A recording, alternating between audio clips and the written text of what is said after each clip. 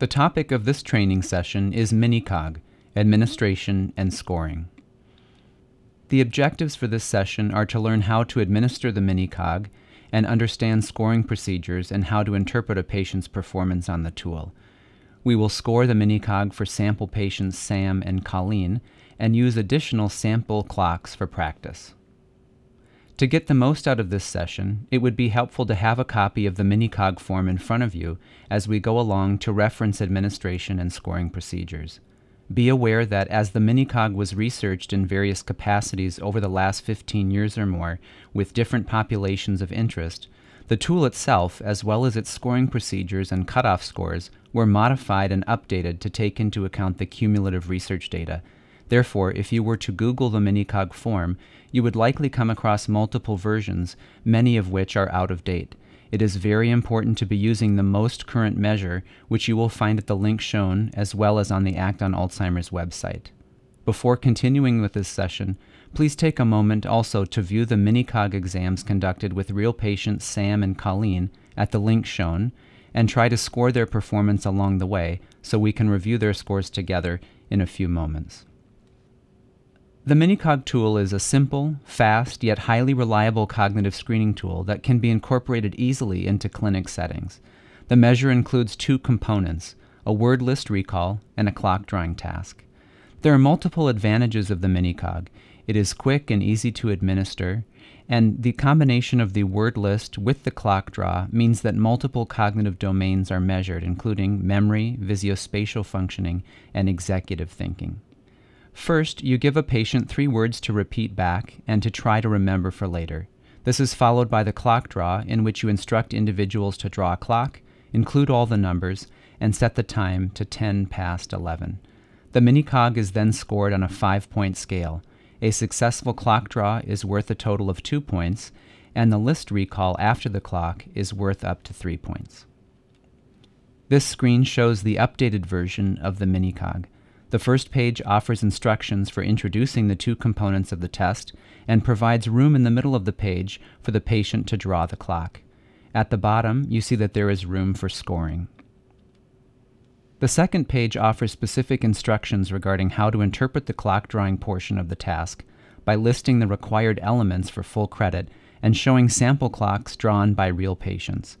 Notice that at the bottom of the form, there is an email address that can be used to contact the creator of the minicog, Dr. Sue Borson, for questions, for more information, or for permission to use the tool in a non clinical or research context.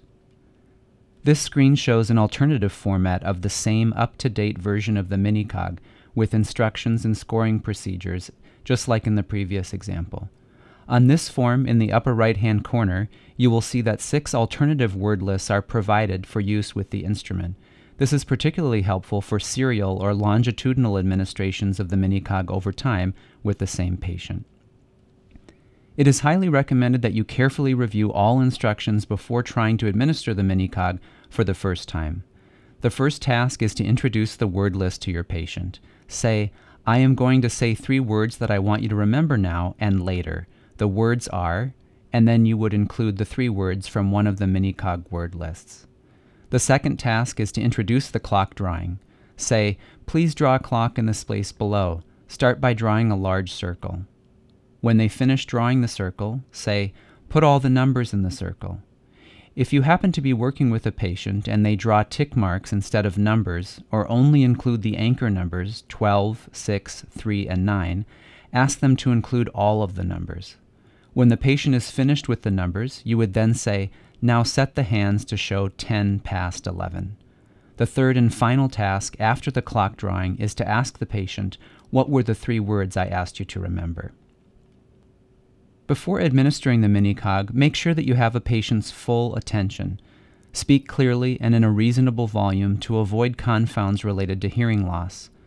When saying the three words, do so at a rate of about one second apart. Note that you can repeat the word list two more times after the initial administration if a patient has difficulty registering the words. If a patient is unable to repeat back all three words after three attempts, move on. After a patient successfully repeats all of the words, Do not remind them that they will need to remember the words again later. For the clock draw, it is your choice whether you use a blank piece of paper or one with a pre drawn circle on it. If you do allow a patient to draw their own circle, make sure that it is large enough so that you can appropriately interpret what goes on inside. It is important to recognize that you can also repeat the instructions for the clock as often as necessary. This is not a memory test. When giving instructions for the clock draw, never alter the wording of the instructions. Always use the phrase 10 past 11. This specific phrasing was chosen because it requires more mental manipulation on the part of patients to figure out compared to other phrases. If you do change the wording of the instructions, you will lose the reliability and validity of the measure as a whole. It is important to keep in mind that if the patient is unable to complete the clock drawing in three minutes, discontinue the task and move on to word recall. To score the word list component of the mini-cog, each word successfully recalled verbatim after the clock drawing portion is scored one point for a total possible three points. The clock draw is scored all or nothing, that is, a full two points or no points. The clock scoring is weighted in this way because it has been shown to be an early and sensitive indicator of the types of cognitive decline that are common in the setting of dementing conditions like Alzheimer's disease. A full credit clock includes all of the numbers, 1 through 12, in their correct location.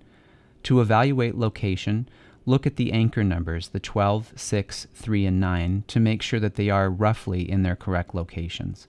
There can be no missing or duplicate numbers. Two hands of the clock must be present, one pointing to the 11 and the other to the 2. It is important to recognize that the length of the hands for mini-cog scoring does not matter and is not incorporated into scoring. This is because many patients will draw the hands in haste and not be specific with regard to length. Refusal to draw the clock at all is scored zero points. The scoring parameters and recommended cutoff score of the mini-cog have been refined over time to increase the sensitivity of the instrument. A passing score is a 4 or 5. A failing score is a score of 3 or less. As mentioned previously, the MiniCog has been extensively researched in a variety of settings and with diverse patient populations. This is just a short list of research findings on the tool. It has been shown that performance on the MiniCog is relatively unaffected by education level or language. The tool has also been validated in numerous populations, including African American, Asian American, and Native American, among others. Even though the MiniCog is much shorter to administer than the Folstein Mini Mental Status Exam, research has shown it has the same level of sensitivity and specificity when working up patients with cognitive impairment. The MiniCog has also been shown not to disrupt the workflow in primary care and, not surprisingly, increases the capture rate of diagnosis. Interestingly, failure on this simple tool has also been shown to be associated with functional ability of patients, including inability to fill a pill box. This information is valuable to the clinician as a score on the MiniCog can shed light on both cognitive status and real world functional capacity. If you have not already viewed the MiniCog exam with real patient Sam, please do so now. The video is on the Act on Alzheimer's website, and the exact link is also shown at the bottom of your screen. Next, we will walk through the scoring of Sam's MiniCog performance, starting with his clock. To evaluate his clock, you will notice that all of the numbers 1 through 12 are included and in their correct locations. The anchor numbers are also in the right places. There are no duplicate numbers and no missing numbers. However, when it came time to set the hands for 10 past 11, Sam did not perform that part correctly. Therefore, Sam's clock would be worth zero points because the hands of the clock are not in the correct position.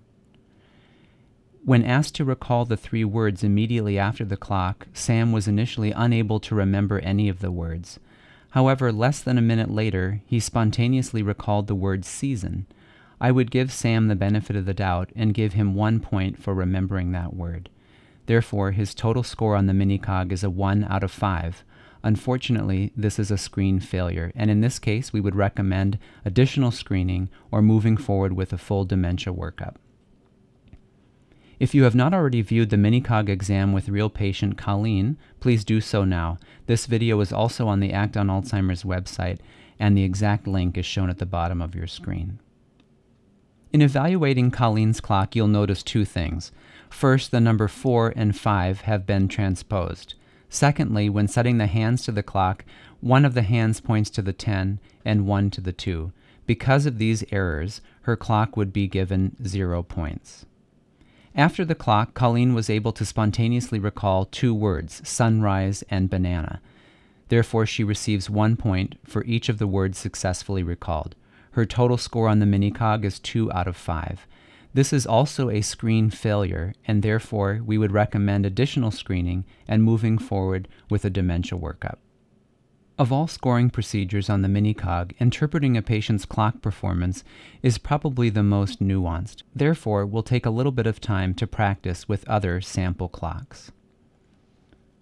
One of the first things you might notice in clock number one is spacing errors.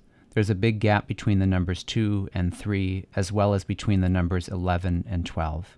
If you look at the anchor numbers, you will quickly see that the number 10 is where the number 9 would normally go.